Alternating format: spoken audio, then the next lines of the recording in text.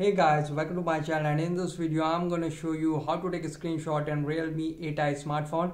Okay, so the first and really easy method is just go back and now just slide down your three fingers like this to take a screenshot. Quickly you can see just swipe down your three fingers like this to take a screenshot.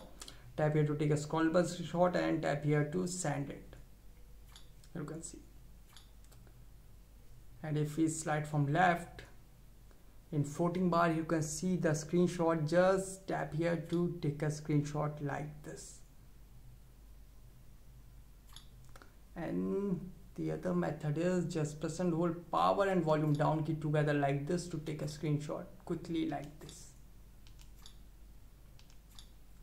And if you want to take a partial screenshot here I will show you how to take it. Just touch and hold your three fingers.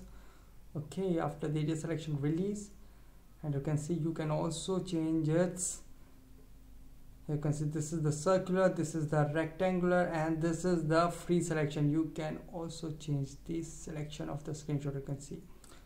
When finished just tap on it to save the partial screenshot. And if you want to take a longer screenshot here i will show you how to take it. Okay now swipe down your three fingers and now tap on scroll and you can see auto taking a scrolling a screenshot. You can see. Or you can swipe up or down to take the screenshot. You can see already at the bottom of the page. Okay now you can also swipe up and down to select the area. And after the area selection just press on done to save the scrollable screenshot just tap here.